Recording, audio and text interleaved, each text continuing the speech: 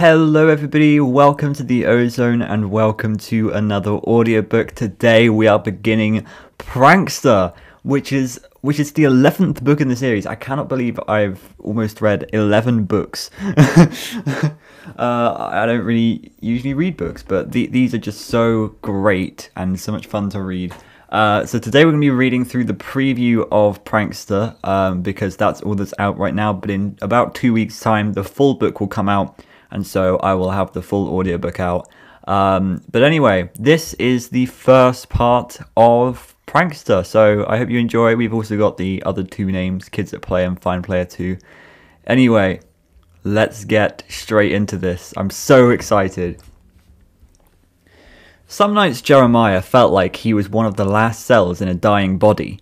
When he was hired four years ago, straight out of college, the office had been a lively, dynamic place, full of people who were full of ideas.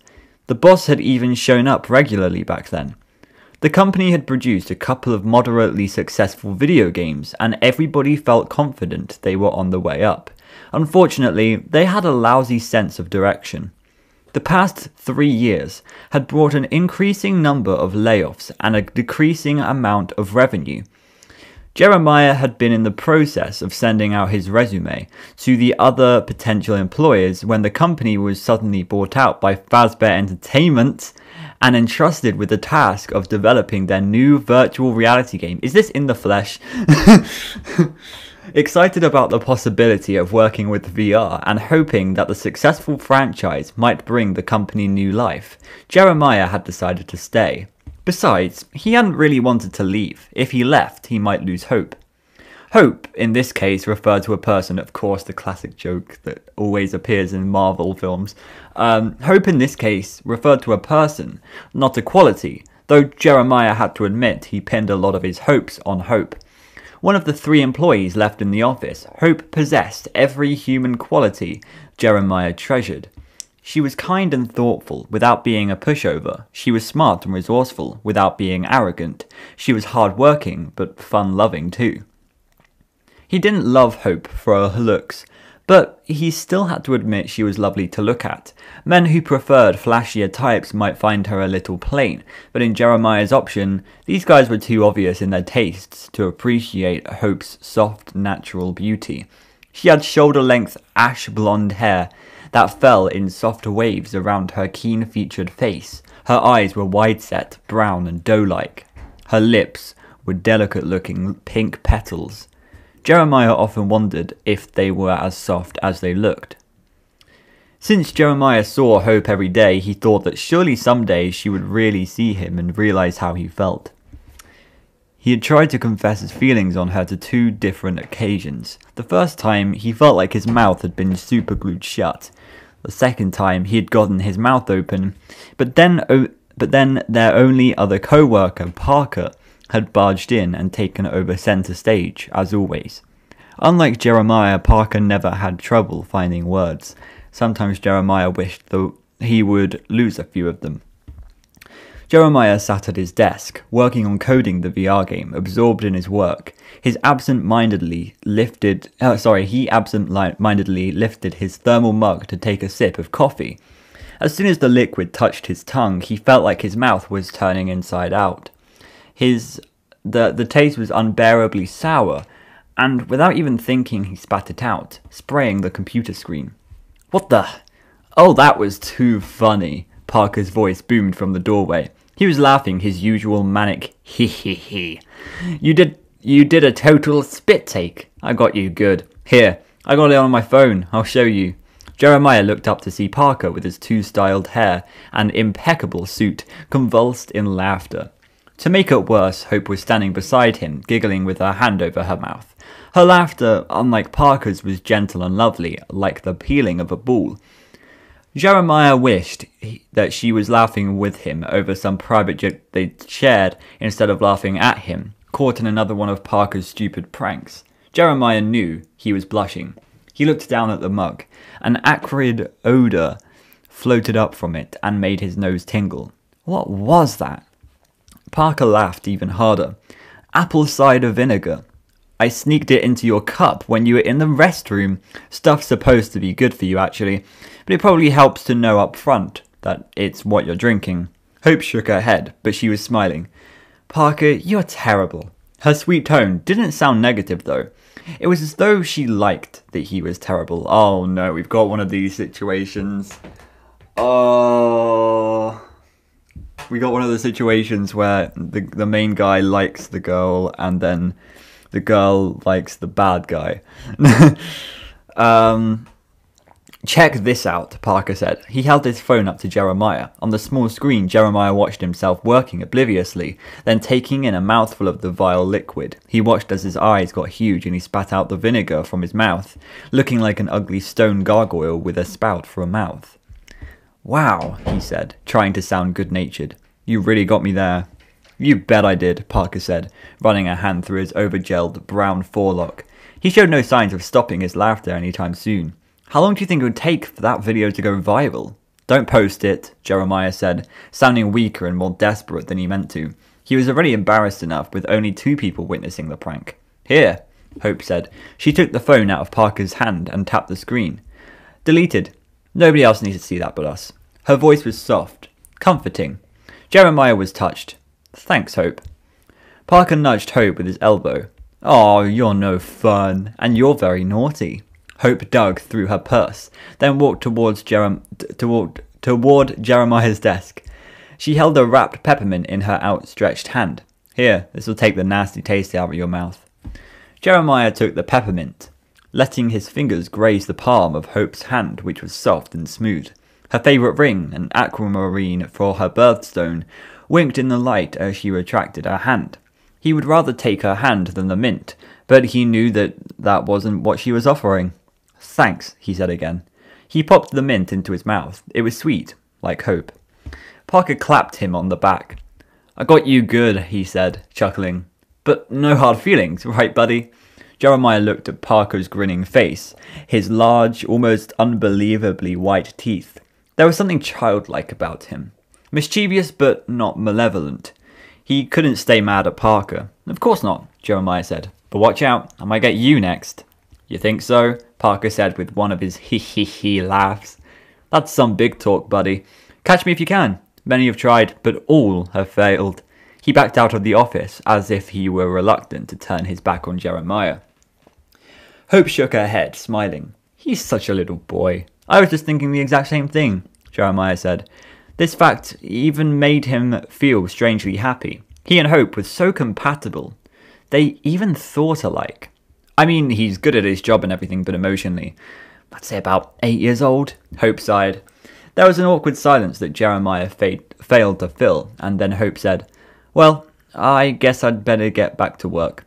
And whose job are you doing today? Jeremiah asked. This question was a running joke of sorts. Three years ago, Hope had been hired to work the front desk at the office, but as the number of employees decreased, she ended up doing the jobs of several other people. For no additional compen- compension, of course. Mostly the PR directors, Hope said, though later I think I'll get promoted to pretend boss for a while. Jeremiah sat up straighter. I'd better look out then, and try to act extra busy. You'd better, Hope said, flashing her lovely little smile. You wouldn't want the pretend boss to have to pretend to fire you. Jeremiah smiled back, wishing he could think of a witty response. Well, Hope lifted her hand in a little wave.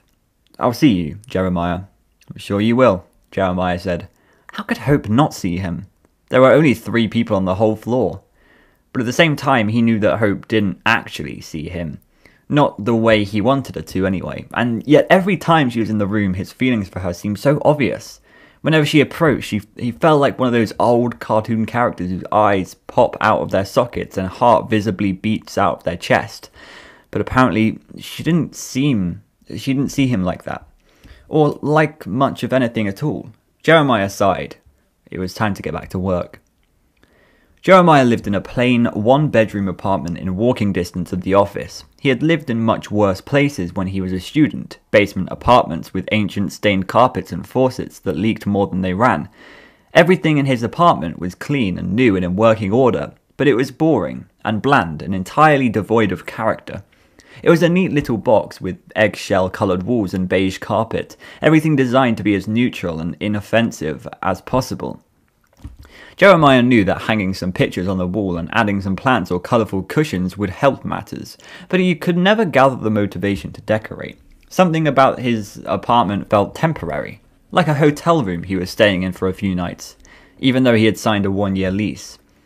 Tonight, as soon as he got home, if that's what this place is, he stripped off his business casual khakis and buttoned down and changed into a t shirt and a ratty but comfy pair of sweatpants. He went into the kitchen, opened the refrigerator door, and surveyed his options. He figured he should probably eat the leftover Chinese takeout before it went bad. He grabbed the white paper box, a soda, and a fork, and made his way to the couch.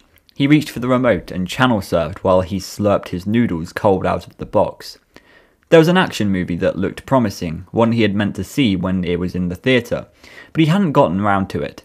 He polished off his noodles and watched the hero in an expensive black suit run and jump and beat up bad guys. He briefly pictured himself wearing the same kind of suit and punching Parker square in the face, but he knew he would never do it. He was decidedly not a man of action. He was the kind of guy who sat passively and watched the action unfold in front of him on a screen. When the movie was over, Jeremiah changed over to a late night talk show, but he soon dozed off. He dreamed, as he often did, about Hope. He and Hope were at a fancy restaurant with dim lighting and crisp white tablecloths. She was wearing a rose coloured dress with a scoop neck that showed off her lovely collarbones. Collarbones? Collarbones. He was wearing the same black suit as the guy in the action movie. They were eating frou frou. What is a frou frou? he was eating frou frou, French dessert, pot au chocolat for her and creme brulee for him, and they reached across the table feeding each other sweet spoonfuls. They didn't talk because they didn't need to. Even without making a sound, they were in perfect harmony. When the alarm on his phone went off, Jeremiah started and looked around, disoriented. He had slept in an awkward position on the couch all night. His neck hurt and he had drooled on the upholstery. And now he looked, and now, like almost every other morning, it was time to make the coffee, to dutifully crunch his way through a bowl of cereal, to shower and put on clean khakis and a polo, all in preparation for another long day of work. The dream he had enjoyed last night was definitely over. In the shower, Jeremiah gave himself a pep talk. Okay, so Hope is completely oblivious to your feelings and she thinks Parker is hilarious. But you know what? You're a nice guy. And Parker, deep down, is a jerk. Didn't Mum always say that niceness counts? So maybe if you just keep on showing Hope how nice you are, she'll eventually realize she can't live without you. The pep talk helped a surprising amount. Jeremiah whistled as he dressed with a little more care than usual. He shaved off a three day growth of beard and even put a little product, though he couldn't remember when or why he'd bought it, in his hair. He regarded himself in the mirror. Not bad. He was no action hero, but he looked nice. And he was nice. Nice was key. He walked to the office with a spring in his step and took the elevator up to the fifth floor. As soon as the doors slid open, he heard the sound of Hope's laughter. Parker was sitting at his desk, showing Hope something on his computer. They were both laughing. Hope was standing right beside him, looking at the screen. If either of them adjusted their positions by an inch, they would be touching. Hi, guys, Jeremiah said. Neither of them turned away from whatever was on the screen. Hi, guys, Jeremiah said louder this time. Oh, hi, Jeremiah, Hope said um, favouring him with a smile. I didn't hear you come in. Nobody can hear much of anything if Parker's around, Jeremiah thought, but he didn't say the words. Nice. That was what he was going to be. Hey, Jeremiah, my man, Parker said, smiling his most in- disingenuous smile. Have you had your morning cup of vinegar, or shall I hook you up? Hope gave Parker a little play slap on the shoulder. Now you stop that. She turned to look at Jeremiah with her big, lovely eyes. Jeremiah, I just wanted to know that I've talked to Parker and he's promised to be on his best behaviour today. I did make that promise. Parker gave a wicked grin. The trouble is, my best behaviour still isn't that good. He waggled his eyebrows theatrically. Well, then you're gonna have to uh, be better than your best, Hope said, though her voice still tinkled with laughter. I mean, look at poor Jeremiah there. His nerves are shot. At least she's looking at me, Jeremiah thought though he wished she wasn't looking at him with pity. When Jeremiah filled his mug at the coffee station, he sniffed it to make sure it was really coffee. Even with Parker supposedly on best behaviour, you couldn't be too careful. Jeremiah sat at his desk and started working on the game. He fell into the screen, and for a few hours the combination of creativity and problem solving distracted him from thinking about the slim distance that separated Hope and Parker at the desk this morning. There was a knock on his half open door. He jumped a little, even though, even though the knock had been so light it was barely there. When he was immersed in work, returning to reality was always a little startling. Fortunately, it was a pleasant reality to return to. Hope was standing in the doorway, smiling at him. Sorry to break your conversation. Uh, conversation? Concentration, she said. Parker's running out for sandwiches. You want one? Sure, thanks, Jeremiah said. Corned beef on rye with extra mustard, mustard, tortilla chips, and pickle on the side? Hope asked. Was it pathetic how his heart leaped? Hearing that she knew his sandwich order? You know me too well, he said, smiling at her. It's the only kind of sandwich I've ever seen you eat. Oh, are you kidding me? Is that the end? anyway, um, so yeah, that that's it for now. Uh, in two weeks, we're gonna get the full story as well as the other two. Um, this is actually really this. I, it's a good start. I like it. I like where this is going. Sorry, I'm so predictable. Jeremiah felt, suddenly sure that he was the most boring person in the world. No wonder Hope preferred the loose cannon that was Parker. Hey, predictable can be nice sometimes, Hope said. In an unpredictable world, it's nice to know that a corned beef sandwich will always make you happy. You're what would make me happy, Parker thought. But of course he didn't say it. He just thanked Hope for taking his lunch order then chided himself for his weakness, for being a boring, predictable, corned beef on rye eating coward who never had the courage to speak his true feelings. He turned to his computer and fell back into the virtual world. He was having a lot more success there than he was in the real one. Half an hour later, Hope appeared in his doorway again. Hey, Parker and I are going to have some lunch in the break room. You want to join us? Sure, Jeremiah said. He couldn't help but feel like he was being invited as an afterthought, but he couldn't say no to any gathering that included Hope. They sat around the table in the break room. Jeremiah opened his plastic takeout box corned beef sandwich, tortilla chips, and a pickle, his predictable favourite. Hey, did anybody watch Kingdom of Bones last night? Is that a. Uh... Yeah, that's like Game of Thrones, Kingdom of Bones. Um, Parker asked. tearing off a chunk of his ro- roast beef sandwich with his gigantic teeth. Jeremiah was reminded of a nature documentary he saw with lions tearing off big chunks of zebra with their huge fangs. He feared that Parker was the lion here and he was the zebra. It's on my DVR. I haven't watched it yet, so no spoilers, Jeremiah said. I don't watch that show. It's too violent for me, Hope said, delicately nibbling at a corner of her veggie wrap. She was a vegetarian because she said animals were friends, not food. Finding Nemo. Uh, Jeremiah admired her kind heart, not to mention her conviction and self discipline. There's already too much violence in the world. I don't like to watch it simulated for entertainment. That was the thing about Hope, Jeremiah thought. She was a good person. She had principles. You're such a girl, Parker said in a tone that implied being a girl was a bad thing. I bet you watch romantic comedies instead. Hope gave a small, embarrassed looking smile. Sometimes, yeah. Parker shook his head. I would rather have my eyes burned out with a hot poker than watch a single romantic comedy. Well, fortunately, uh, sorry, well, fortunately, that's probably a choice that you that will never come up in your life, Jeremiah said. Unless you date a girl who's super forceful about wanting you to watch romantic comedies, Hope said, laughing her burbling little laugh. Jeremiah felt a tingle of happiness. Right now, it felt like he and Hope were sharing a little joke at Parker's expense. Enjoying Hope's smiling face, he absent mindedly popped a chip into his mouth. And he was on fire, or at least his mouth was. It felt like someone had filled his mouth with boiling lava his lips, his cheeks, his tongue burned with an intensity that made fat tears spring into his eyes and spill down his cheeks. Jeremiah, what's wrong? You've turned all red, Hope said, getting up from the table to get closer to him. He wanted to say hot, but his mouth was too much of an inferno to form words. Instead, he made a fanning gesture in front of his mouth, hoping it would explain his problem. He jumped up from the table, ran over to the sink, and spat out whatever it was that turned his mouth into a volcano. He turned on the faucet, stuck his head under it, and let the cold water flow into his scalded mouth. When he lifted up his head, gasping, he turned to see Parker laughing so hard he couldn't catch his breath. Parker, what did you do to him? Hope demanded. This time, she wasn't sharing in Parker's laughter. Oh, Parker said, holding his stomach. Oh, that was so good. Jeremiah filled a paper cup with water and drank it down.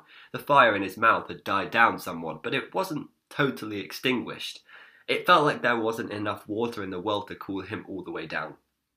What happened? Hope said. Hope asked, her tone testy.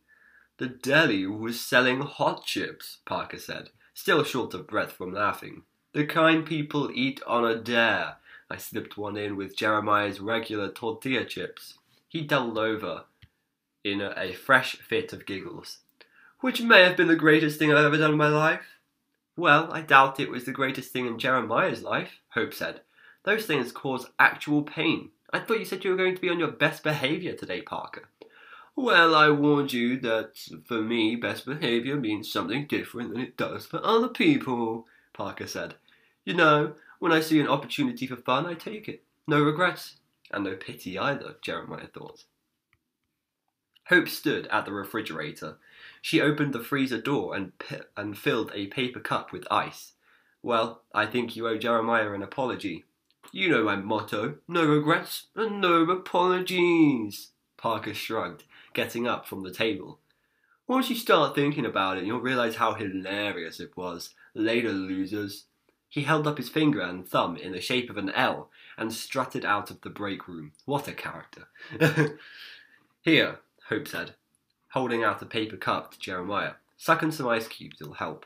Thanks, Jeremiah managed to say, but his voice sounded thick and strange. He felt like his lips and tongue were swelling.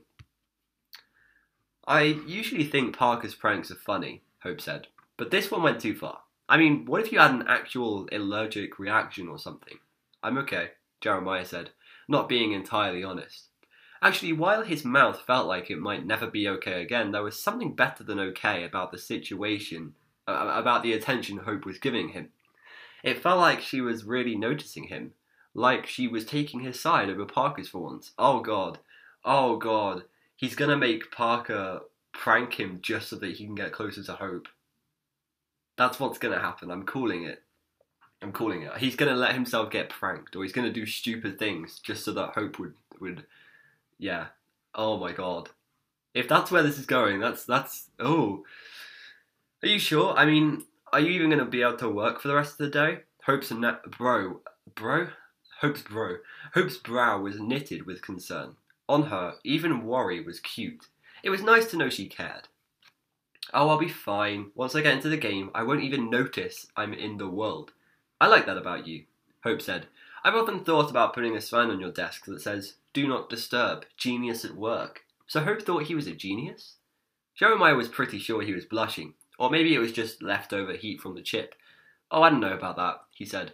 You're much better with people than I am. Hope smiled at him. Well, then we compliment each other, don't we?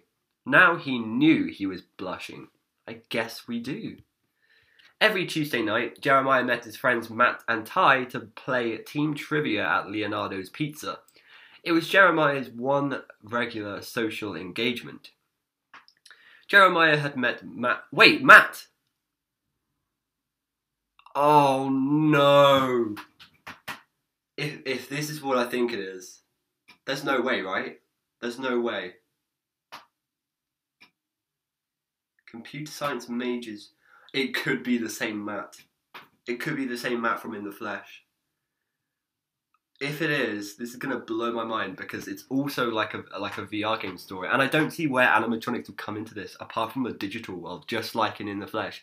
Oh no. Okay. Jeremiah had met Matt and Ty in college, where, where they were all computer science majors who were obsessed with gaming. Back then, they would meet up in one of their dorm rooms and play for hours, fueled by soda and junk food. Most of the time, each of them was immersed in his own game on a laptop or console, though they traded enough banter back and forth that the experience was still social. When Jeremiah took a psychology class, he learned that when toddlers play in the same room but not together, it was called parallel play. It amused him that he and his friends were in college but still engaged in parallel play. There was no parallel play for them anymore. They were three full grown men with grown up jobs. Matt was married with a baby boy, and Ty was a and Ty had a steady girlfriend. I don't think Matt had a baby because they were they were like they were like oh yeah we're gonna have a baby and then that was like a foreshadow to the fact that he does actually you know uh,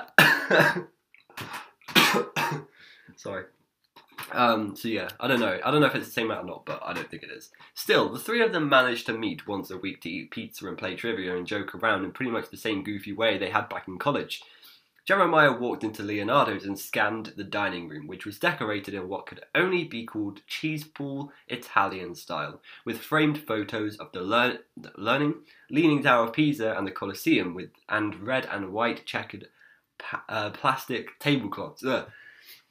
Matt and Ty already had a table and waved him over. Ty's looks hadn't changed a bit since college. He was still a boyish looking black guy wearing the same round, gold framed glasses he had always worn. But marriage and fatherhood had caused Matt to gain what he jokingly called his baby weight, and there were dark circles under his eyes from, from exhaustion.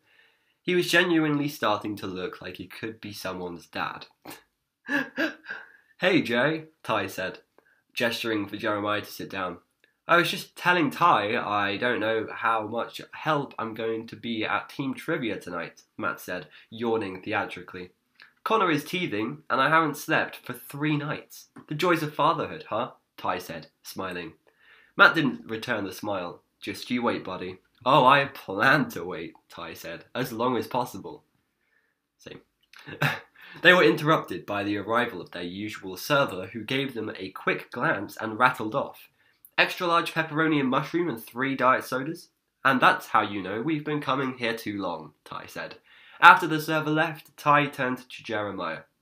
So, how are things at your glamorous workplace? Both Matt and Ty had regular IT jobs with fairly boring businesses. They always playfully expressed jealousy that Jeremiah had landed a job in game development. Oh, okay, it's, it's not the same man. Jeremiah thought it was a trade off. Sure, he had the cooler sounding job, but unlike them, he was alone. No wife or girlfriend, no kids, not even a pet. It's not that glamorous, Jeremiah said. It feels like we're just barely keeping afloat in a tiny life raft. I hope this VR game is a big seller. It would be good for things to be on the upswing again. He thought of his day at work, the hidden hot chip, followed by Hope's protectiveness of him, and her saying that the two of them complemented each other. But I think things may be looking up with Hope.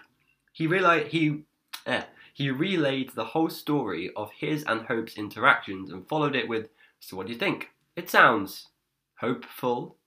Matt said, then laughed for far too long at his terrible pun. Ty rolled his eyes. Ignore Matt and his horrible dad jokes. I think it sounds like she definitely cares about you, man. She may not be totally into you yet, but the thing she said about you complimenting each other sounds promising. Why you say promising when you can say hopeful? Matt said. I think you're so tired and you're punchy, Ty said to Matt. Don't you mean punchy? Matt was cracking himself up. As your sane friend, unlike this one, Ty said, uh, chucking Matt on the shoulder, I say you should ask her out. Yeah, but what if she says no? Jeremiah's stomach knotted in, in anxiety. Well, that would suck, but at least you would have had the courage to ask her, Ty said. Nothing ventured, nothing gained. But what would the courage be worth? Especially if I have to see her at work every day after she turns me down. Jeremiah couldn't imagine the awkwardness. And then, too, if Parker got wind of the fact that Hope had rejected Jeremiah, he would never let Jeremiah forget it. I can tell by the look on your face that you're worrying about problems you don't even have yet, Ty asked. Ty said, just ask her out. Matt began rhythmically pounding on the table and chanting, Ask her out! Ask her out! Ty joined him, and Jeremiah, laughing, finally said he'd think about it. But his friends only stopped pounding on their table when the pizza arrived. Looking in the bathroom mirror, Jeremiah ran the razor over his foamy face. Today's the day, he told his reflection. I'm gonna do it. I'm gonna ask her out. He splashed warm water on his chin, dried off, and combed his hair. He looked himself over, something he hardly ever did. Not bad, he decided. True, he wasn't slick or handsome like Parker, but there was also something about Parker's face that made it seem exceptionally punchable. Jeremiah at least looked at the nice guy. He was a nice guy, he told himself. He would be an excellent boyfriend if given the chance. He put on an extra coat of deodorant because he knew the anxiety would make him sweaty. He squirted toothpaste on his toothbrush, and as he brushed, he remembered Matt and Ty's rhythmic chant as they pounded on the table at Leonardo's. Ask her out! Ask her out! As he walked down the sidewalk to work, his feet pounded out the rhythm of their chant. Ask her out! Ask her out! You need to ask her as soon as possible, he lectured himself. Don't sit around all day trying to talk yourself into it. Just jump right in and ask. He took out his phone and texted Matt and Ty. I'm gonna ask her. Matt replied with a go for it. Ty sent a thumbs up. Jeremiah smiled. He was ready. Oops. On the elevator, he kept his fingers crossed that when he entered the office he would find Hope alone so they could talk. But when the door slid open, he saw that he had no such luck. Oh, good, he's here, Parker said. He was standing with Hope, who was looking heartbreakingly pretty in a robin's egg blue blouse that somehow made her eyes look even bigger and browner. Both Parker and Hope were holding VR headsets. Hi, guys, Jeremiah muttered, trying to hide his disappointment. Hey, dude, Parker said. We were wondering if you could open up the testing room and get things running. I want to do a practice run on the game so far, and I, I, I thought Hope could help me. It was the exact opposite of the situation Jeremiah had wished for. Basically, Parker was asking Jeremiah for the privilege of being sealed in a dark room alone with Hope. You want me to help out too? Jeremiah asked, fearing he already knew the answer. No, it would be better if you stayed out here and monitored things on the computer, you know. Parker said, grinning, his loathsome grin. I figure Hope will bring a fresh take on things. Since she's not actually working on the game development, she can experience it cold from a player's perspective. Right, right, Jeremiah said. Well, let me get things set up. He used his keycard to open the door to the practice room and then sat down in front of his computer. How could he have been feeling so good when he woke up this morning and yet feel so despondent now? Okay, Hopey, ready to have some fun? Parker asked, sounding like a demented game show host. Also, where did he get off calling her Hopey? Sounded like dopey. He hated it. Sure, Hope said, giggling. They disappeared into the testing room, and Parker shut the door behind them. Jeremiah tried to concentrate on his work, but for once he couldn't. He felt sick. Every couple of minutes he heard a stray chuckle coming from the testing room, the intimate sounding laughter that made his mind go places he didn't want it to go. Stop it, he ordered himself. They're playing the game, that's all. Of course they're laughing. People tend to laugh after a good jump scare. But then the what ifs started. What if they're not playing the game? What if they're laughing because they're flirting with each other? What if it's more than flirting? What if his greasy mouth is pressed up against her petal like lips? What if his slimy paw is stroking her wavy, lustrous hair?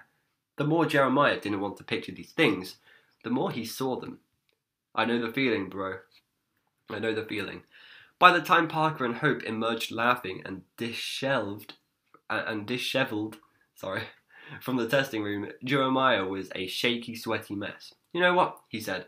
I may go on home. I think I've picked up a little bug or something. You look a little grey, Hope said, sounding concerned. I feel it, Jeremiah said. Wow, you must, Parker added. You never miss work.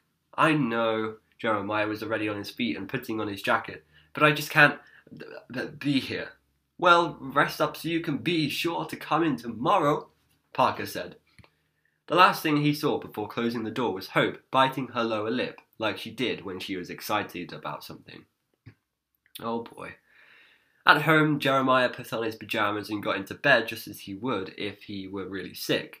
But if he was really sick, but he was really sick, wasn't he?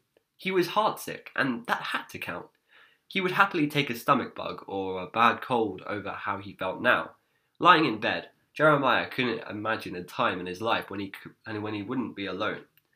And then he remembered something that, under the present circumstances, made him even more miserable. Tomorrow was his birthday.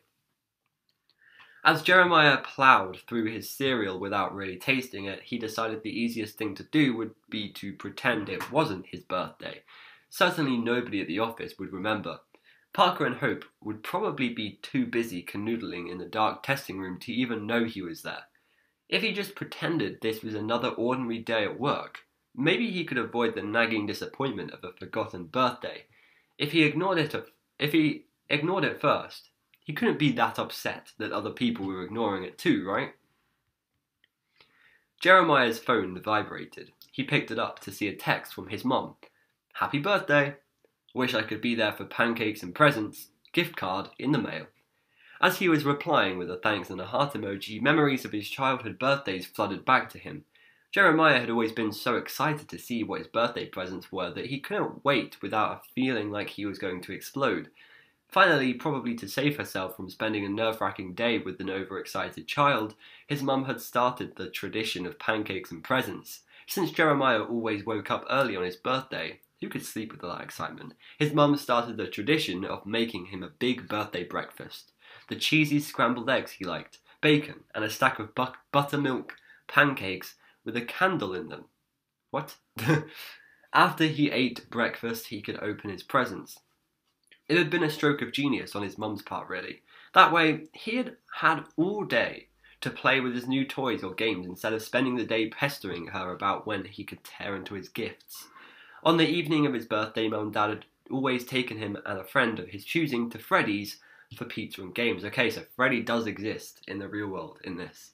Jeremiah felt himself tearing up a little at the thought of those perfect birthdays of his past. There were no birthdays like childhood birthdays. After all that fun and fanfare, adult birthdays always felt disappointing. Maybe he should have gone out for pancakes this morning. He hadn't noticed it was raining until he stepped outside his apartment building. He cast a glance back inside. His umbrella was in his apartment, six floors up. It didn't seem worth the trouble to go back up and get it. He zipped up his jacket and walked in that strange, hunched way people walk when it's raining on them. On the elevator, he tried to mentally prepare himself for the scene he was going to walk into today. Would Hope and Parker be tittering over something at Parker's desk? Would they already be locked in the testing room? Would they announce their engagement? Don't get caught up in the drama, he told himself. Just do your job and go home. Maybe you can order takeout and watch a movie or something. When the elevator door slid open, Jeremiah was genuinely surprised by what he saw. The office was lit by strings of tiny fairy lights. A huge banner with balloons surrounding it said, Happy birthday, Jeremiah. He smiled. They had remembered. Or even better, she had remembered.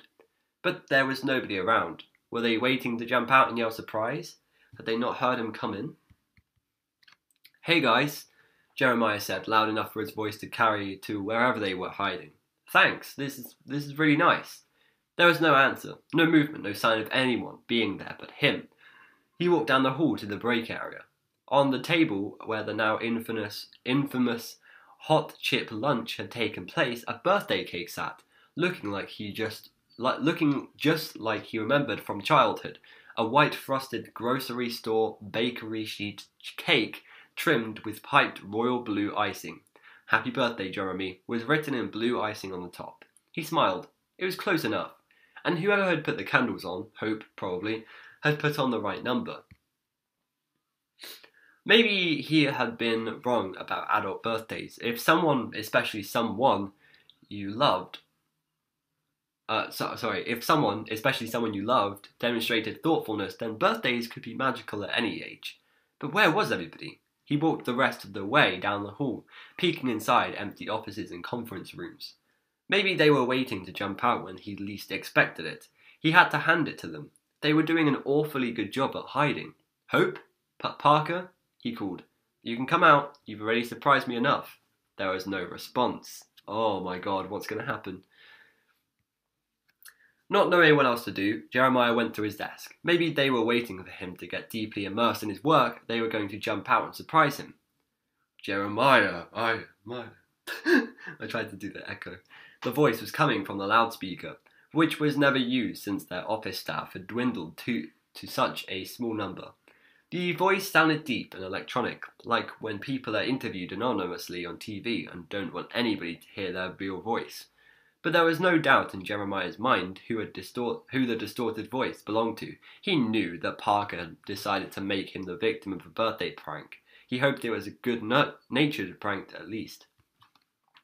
Jeremiah, the voice repeated, I have taken your co workers, Parker and Hope, hostage. If you call the police, I will kill them immediately. Uh huh, Jeremiah said, sounding as unconvinced as he felt. The distorted voice was obviously Parker's. You have a choice to make, birthday boy.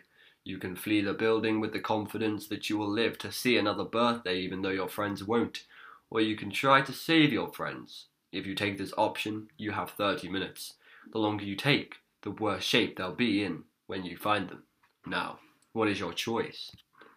I choose to save my friends, Jeremiah said with a sigh. In truth, he considered Parker a bully, not a friend, but he wanted to make a good impression on Hope, and triumphing over one of Parker's pranks seemed like a good way to do it. Plus, it was just a stupid game anyway, right? Like those escape rooms people chose to get themselves locked into so they could have the fun of finding all the clues that they would get that, that would get them out. It was his birthday after all. He might as well play the game. Very well, the distorted voice said. Use your time wisely, or your friends may be missing a few pieces. Your time starts now. Jeremiah stood up. He had to hand it to Parker. This was definitely darker and more imaginative than his usual pranks. He looked around the workroom, trying to find clues. He looked on top of Parker's desk and even pulled the drawers open and looked inside. Nothing out of the ordinary. He went to the reception desk where Hope usually kept her stuff. Her purse was stored in the usual drawer, which meant she had definitely come in this morning. He wouldn't stoop so low as to invade her privacy by digging through her purse. So Hope was somewhere in the building because her purse was there, and he knew Parker was here because he had heard him on the loudspeaker. To win this game, to beat Parker and impress Hope, he had to turn himself into a combination of an action hero and a sharp minded detective. What was it Sherlock Holmes used to say in the stories Jeremiah had liked back in his middle school days? The game is a flute. Uh, oh my god, a flute? It's not a musical instrument. the game is a foot. Since you're at a desk, you might as well write something down, the distorted voice over the loudspeaker boomed. Your first clue is an anagram. Write it down. Stingamoot. Um. To. I don't know. I'm usually quite good at anagrams, but I'm not not sure. Stingamoot Jeremiah yelled back at the voice on the loudspeaker, Parker's voice. That doesn't make any sense. It doesn't have to make sense, the voice bellowed. It's an anagram. You're wasting precious time, Jeremiah. Write it down S T I N G E R, space, M O O T. Jeremiah did as he was told, but he wasn't going to let Parker intimidate or pressure him. Not this time. He wanted Hope to see the kind of person he really was, that he wasn't just a hapless fool, foil for Parker's pranks anagrams. It had been a long time since Jeremiah had thought about anagrams. Those were the ones where the letters were scrambled up, weren't they? So he looked at the nonsensical combination of words. If this was truly a clue, then it was probably directing him to a location in the building. He spotted the letters room quickly, so room must be the second word. With those letters eliminated, it didn't take him long to figure out that the remaining letters could be arra- re- rearranged to spell testing. Yes, Yes. just checking, just checking that this uh, book is accurate. The testing room, he said, feeling an undeniable sense of accomplishment. I need to go to the testing room. He walked instead of running. He didn't want Parker to think he was feeling pressured. It was a game after all. Are they trapped in the game? That would be a very cool twist. He used his keycard to open the door to the testing room, then turned on the light. In the middle of the floor sat a small gift box, the size that most often contained jewellery. The little box was wrapped in colourful paper with a shiny purple bow on top. So, this was a birthday treasure hunt with a horror suspense theme? Jeremiah could live with that. At least he could say that his birthday wasn't like every other day. He walked across the room, crouched down, and picked up the small box. He unwrapped it carefully, just in case there might be a clue written on the inside of the wrapping paper. The hinged box was a deep crimson flocked with velvet, the kind of box that might cradle an engagement ring. He flipped the lid open, His stomach lurched. Teeth. The velvet lined box was filled with teeth. What? Some large, some perhaps small enough to be baby teeth. One molar was flecked with blood on the bottom, where it had been yanked by the root. Oh my god, that's disgusting. Jeremiah wanted to keep his cool, but couldn't help but visibly shudder. Where had Parker managed to get teeth? Of all things. Was his friends with a was he friends with a dentist who had a sick sense of humour? Jeremiah took a deep breath. A clue, he told himself. The teeth are supposed to be a clue. Stop freaking out and start thinking. He didn't want to touch the teeth, but he knew he needed to examine them for possible clues. He took a tissue from his pocket, spread it over the palm of his left hand, and shook the teeth onto the tissue. They contained no distinguishing markings or features. There were seven of them. Could the number be, sp- be significant? Seven certainly didn't feel like a lucky number when it referred to a bunch of extracted teeth. He set the teeth aside and examined the box. He pulled out the velvet liner. In the bottom of the box was a small piece of paper that had been folded into a tiny square. Jeremiah unfolded the paper. On it, a typed message read, Sink your teeth into this clue, Jeremiah. Give me one, and I'll make more. Each one like the one before. What am I? Fazgu. Fazgu. Right? because there's teeth involved, and and they make replica. Um, I'm joking. It might not be Fazgu, but if it is Fazgu, I am going to scream. Okay, I will scream for you. Jeremiah didn't think to. Uh, sorry, Jeremiah didn't have to think for long. He had always been good at riddles. That's easy. The copying machine. Don't get too confident, Jeremiah. The distorted voice boomed out to the loudspeaker, making him jump. The time is ticking away. Only twenty minutes left and the slower you are, the slower, the more they'll suffer. I wonder, if you do manage to find your friends, will you even be able to recognize them? Oh my god, something actually has happened. Something has happened to their friends, and they've turned into monsters or something. You're really enjoying this, aren't you, Parker? Jeremiah said as he exited the testing room, leaving the teeth behind. Stop nagging me. I'm on my way to the copy room. In no particular hurry, Jeremiah made his way down the dark hallway. The copy room was the third door on the left. When he walked inside, lights from the machine emanated an eerie glow. At first, he went to the machine itself, but found nothing out of the ordinary. He scanned the room. It was small, so there weren't many hiding places. Other than the machine, there was just a wastebasket, a recycling bin, and a long table where people could collate their copies. He looked on the table and saw only the usual office supplies a cup holding pens and scissors, a stapler, a small jar of paper clips. Wait, those those weren't paper clips. They were small, translucent ovals, white tipped on the top and freck and flecked with red on the bottom. What? Fingers. Oh my god, fingernails. fingernails, they're fingernails, and not fingernail clippings, but whole fingernails that had been r- removed somehow. Jeremiah felt the bile rising in his throat. He gagged. He took a deep breath and told himself to calm down. These couldn't be real fingernails. They were props. Extremely realistic props. The kind you'd see in a horror movie with a decent budget. But props nonetheless. He supposed it wouldn't be so outrageous that Parker could get his hands on such things. You could buy anything off the internet these days. But where was the next clue? There was nothing else unusual on the table. With a shaky hand, he picked up the jar of fingernails. He appended it, scattering the nails across the table. A small folded piece of paper fell out of the bottom of the jar. He didn't like touching it since it had been in the jar with all those fingernails, but he knew it was the next clue, and he wasn't going to chicken out now. He wouldn't give Parker the satisfaction. He unfolded the slip of paper and read, You nailed this challenge. oh. Jeremiah could almost hear Parker's annoying he he he. Oh, no, sorry, that was me. uh, he kept reading.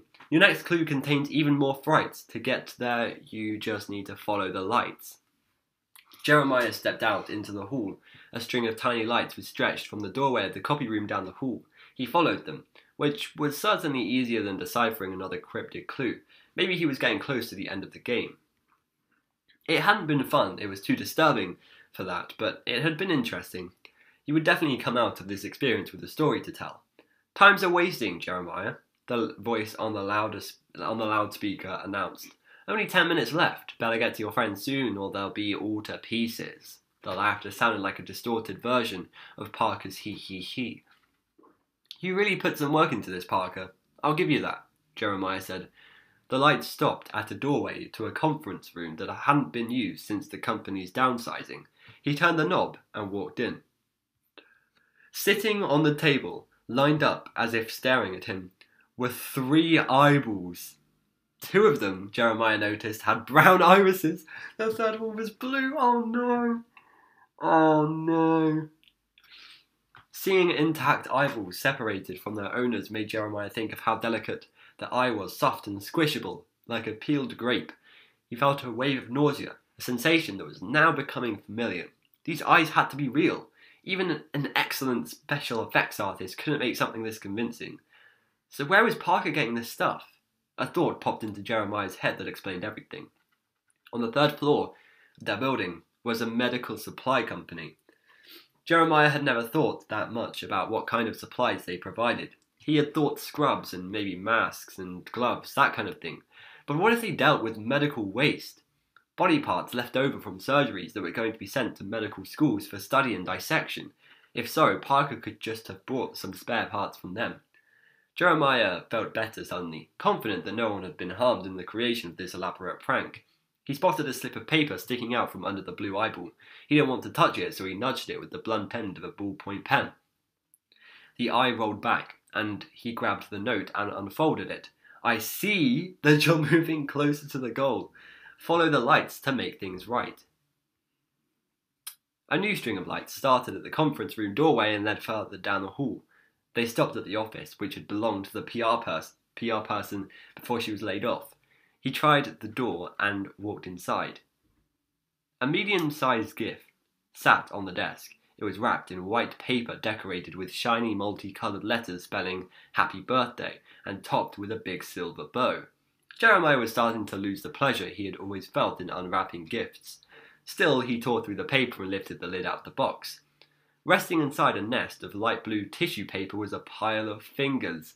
Maybe maybe as many as 12 or 13, but it was hard to say because many of them had been chopped into fragments. Two of them were missing fingernails.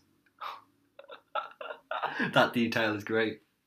Jeremiah couldn't help it. Prank or no prank, he vomited into the wastebasket. Once he was able to normalize his breathing, he looked inside the box again. One of the fingers was small and obviously had belonged to a female. It was wearing a delicate silver ring with a light blue gemstone in it. Aquamarine, Hope's birthstone.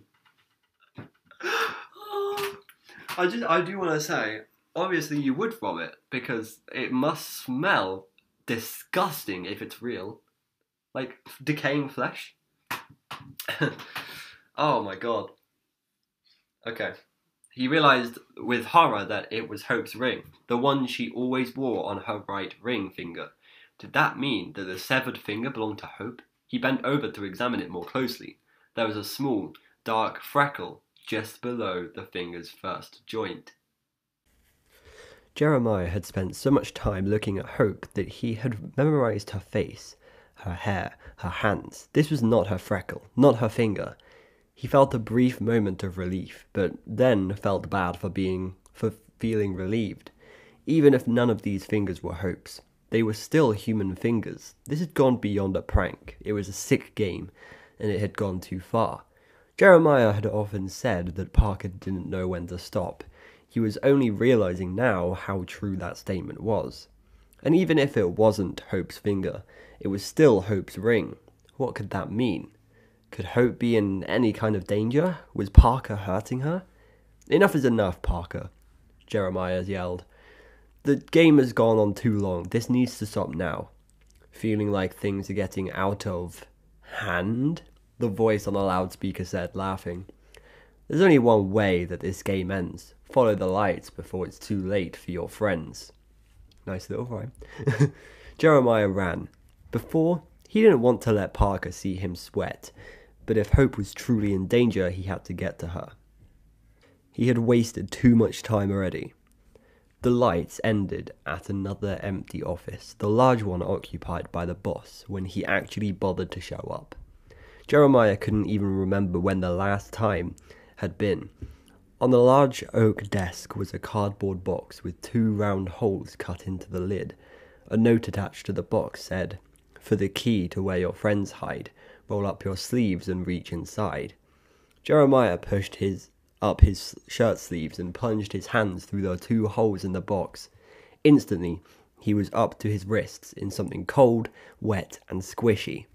It would be more accurate to say some things that were cold, wet, and squishy because the more Jeremiah felt around in the depths of the box, the more he became aware that he wasn't just feeling one slimy mass, but individual items. His hands were tangled up, long, snaky tubes, intestines. Jeremiah hoped that the innards he was feeling had come from some unfortunate livestock and had been acquired at a butcher's shop, but in his mind he knew better. The sorry, the medical supply company, he told himself. All this stuff came from the medical supply company. It was from people who had died from natural causes, who donated their bodies to scientific research. But even as he tried to convince himself, the words were sounding more and more desperate and ridiculous. If these body parts were for study or dissection, wouldn't they be preserved in some way? All the parts he had encountered during this horrible game seemed disturbingly fresh. Jeremiah feared he might be losing his mind. Was this how you lost the game? By losing your sanity? He fought off wave after wave of nausea to rummage through the awful in search of the key. Finally, his right hand felt something hard and metallic. He grabbed it and withdrew the, his arms from the holes in the box. When he looked at his hands, they were stained red past the wrists. He held up the key. Okay, I've got the key. Is the game over? Do I win now? Because I'm done. Do you hear me, Parker? I'm done. What quest ends with just finding a key, Jeremiah? The voice on the loudspeaker boomed. Don't you have to find out what it's a key to? Don't you want to save your friends, or what's left of them? You're not my friend, Parker, Jeremiah yelled. It felt like something he should have said a long time ago. But Hope was his friend, and she could be in danger or in pain. If she needed saving, he could do it. He took the key and closed the office door behind him, staining the doorknob with a bloody handprint. The trail of lights continued. He followed.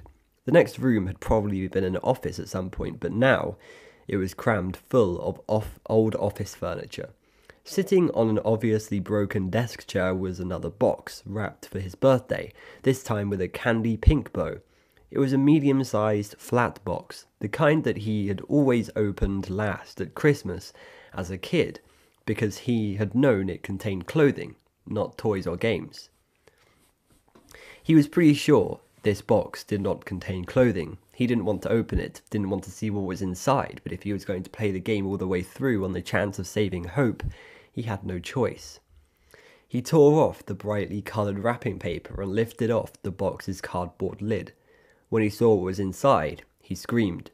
He tried to muffle the scream with his fist, but tasted the blood that still covered his hands. Oh my god. He looked at the contents of the box, driven by a need to make sense of what he had seen. Jeremiah was looking at a face that had been stripped from a human skull, along with part of the scalp and hair. It took him a moment longer to realize who the face belonged to. But then he started to put the pieces together the brown hair with a distinctive forelock, the full lips that had been stretched into a self satisfied smile. He almost expected the lips to part in a he he he. You still think this is Parker? The distorted voice on the loudspeaker said, Oh my god. Oh no. oh my god, okay. This is great. Um, do you want to quickly say a stripped face. That that does sound familiar. Does sound. I, I would have expected Jeremiah to uh, to have a stripped face, but um, you know, we we move, we move. No, Jeremiah said, surprised to hear the sob in his voice. No, P- Parker's right here. He didn't want to, but he found himself looking again at Parker's peeled away face. Jeremiah wiped tears from his eyes. If Parker wasn't running this sick show, then who was? Jeremiah realized that as long uh, that as long as he had oh there's a spelling mistake as long as he had thought that Parker was in charge, he could entertain the notion that no matter how bad or cruel things seemed, it was all an elaborate prank. But now it became clear that this was no prank. It was real. There was only one word that made sense to Jeremiah right now run. He ran, ignoring the trail of lights, ignoring everything except what appeared to be the quickest route out of the building. The halls took on a maze like quality. To the left, to the right, with no seeming way of escape. He reached the elevator and pushed the button. No light came on. Clearly, whatever psychopath he was dealing with had tampered with the elevator. He ran for the stairwell. He opened the door marked stairs. Jeremiah had always found the dimly lit stairwell creepy, even under much calmer circumstances. But there was no time to reflect on his feelings now. There was only time to run.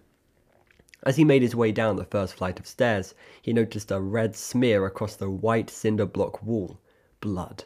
Relatively flesh, fresh blood, judging from its brightness.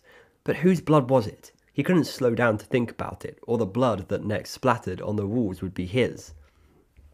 Down, down, down he ran, down fifteen flights of stairs, sweating, panting, his heart pounding like a snare drum. He checked the doors on the way down in hopes of being able to access the elevator from another floor. Locked, locked, locked. Finally, he reached the door marked 1, the door that led to the lobby and the exit. He pushed it. It wouldn't budge. He pushed again. It appeared to have been locked from the other side. He pounded on the door with both fists. Help! He yelled. Help me! I'm trapped in here! He hoped he could at least get a security guard's attention but there was no one there to hear him. He pounded and yelled a few more minutes just in case, but it was no use. He wiped tears of frustration from his eyes. Now what? There was no place to go but back up. Jeremiah was beyond winded. Going up the stairs was much more tiring than going down. He stopped on the landing of the sixth floor to catch his breath and saw something he hadn't noticed on his way down. The sixth floor door was outlined in a string of tiny lights, the same kind that had lit his way throughout the horrendous birthday game. He pushed on the door. It opened. Jeremiah went inside the sixth floor, an office space that had been vacant since he had taken the job with the game company. He knew going inside was probably a bad idea. No, it, was definitely a bad idea. But what other choice did he have? He could go back up to his office, which was littered with viscera and ruled by a malevolent presence on the loudspeaker, or he could take his chances here. The only illumination on the sixth floor came from the strings of tiny lights hung above the ceiling. There were no computers, no office furniture, no other signs of human activity. There were only the tiny lights leading down a dark hallway. At the end of the hallway was some kind of faint glow, almost as if he had been hypnotized to do so. Jeremiah followed the lights. He was going to see this thing through. The glow was coming from a room at the end of the hall. As he drew nearer, the source of the glow became obvious. An old TV, the kind he could remember from his grandmother's house, was sitting in an empty room. It was turned on, but the screen showed only the black and white pattern his grandmother had always referred to as snow. On the shelf below the TV was an equally ancient piece of audiovisual equipment, a VCR. Jeremiah hadn't seen one of those since his childhood. The green power button on the VCR glowed in a reassuringly familiar way. On a whim, Jeremiah pressed play. The snow on the screen disappeared and was replaced by the smiling faces of Parker and Hope. Surprise, Hope said, laughing in her soft, tinkly way. Gotcha, Parker said. Got you good this time. Oh, and he looked over at Hope. Happy birthday, the two of them yelled together. I hope you appreciate all our efforts, Jeremiah, Hope said. It was a lot of work putting all this together, even though it was totally worth it. I never thought we'd get it put together in time, Parker said, between setting up the motion sensors and the loudspeaker. But it couldn't have gone better, could it? Hope said, flashing her familiar sweet looking smile. Jeremiah didn't recognize the room in which Hope and Parker had been filmed. It was too dark to make out much of the setting. However, he could discern what was on the table at which they stood the kind of sharp kitchen scissors used for boning meat, a variety of knives ranging in size from a small scalpel to a huge cleaver. It was perfect, Parker said to Hope. Then he turned to face the camera. But now that you've had your birthday surprise, there's a good chance that Hope and I need to get a hospital. to a hospital. He grinned like a game show host. I bet we do, Hope said, laughing. The smile faded from Parker's face. Okay, Parker, he yelled into the camera. He's ready. Give us a knock. Knock, knock. At first, Jeremiah thought the knocking was coming from the videotape, but then he realized the source of the noise was a supply closet a few feet away from him. Someone, something, was knocking very low on the closet door from the inside. Without even thinking about it, Jeremiah started backing out of the room, though his gaze was still fixed on the TV screen. Now, if you'll excuse us, the Parker on the video said, Hope and I have some work to do. Parker leaned over toward the camera. He was holding a big pair of pliers, which he opened and closed menacingly, then let out his trademark, he he he. The screen went black. Oh my god, what? Jeremiah stood, frozen in confusion and terror, as the supply closet door slowly inched open. What? Wait, what? That's the ending?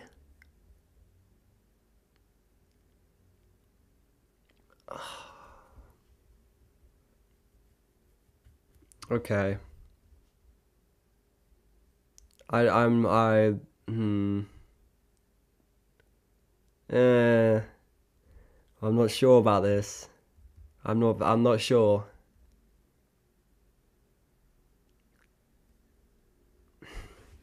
See, I don't know what to say. Um, I'm not feeling this one. I was really, really excited when um,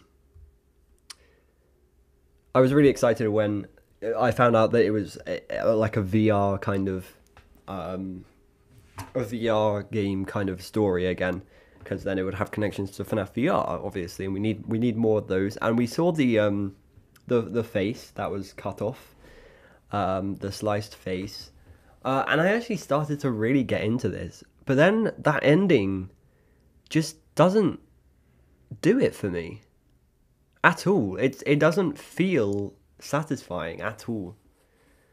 Um, I get it's I get it's a kind of creepy ending, and uh, it's I assume I assume the worst for Jeremiah here, but I don't I don't get it. It's it's a lot of setup for nothing, right? Because you've got the whole like plot of Jeremiah liking Hope and Parker um, being like a like a cool guy, and then that doesn't really go anywhere. So, what was the point of it? I don't know. Maybe, maybe I was expecting a lot and then got disappointed because I had high expectations. But um, it started out well. I will say that I was really into it, and then this ending just doesn't really make sense to me. I it doesn't fit. Right, and and it's all it seems kind of rushed. Right? Does anybody else feel that? Does anybody else feel it's kind of rushed? It's also a very short story. Um, what I've just read is about 20% of the book. Um, yeah, I, I'm I'm not a fan. I'm sorry. I'm sorry. if you guys enjoyed it, then make sure you tell me in the comments below. Uh, if you didn't enjoy it, then also tell me because I want people to share my opinion. But um, maybe it's just me. Maybe there was something extravagant there that I completely missed because you know I am recording an audiobook, so I probably miss a lot of details. But um, thank you guys so much for watching. Next time we are going to be reading Kids at Play, which I is the one I'm most excited for because um, apparently it's about someone leaving home or something, uh, and then there's like a whole gardening aspect. Wait, no, is that the same? I don't even know if that's no, the gardening thing is in Felix the Shark. Never mind. Um, anyway, yeah, I'm excited for this one, so I'll, I'll upload that as soon as possible. Anyway, I will see you later. Goodbye.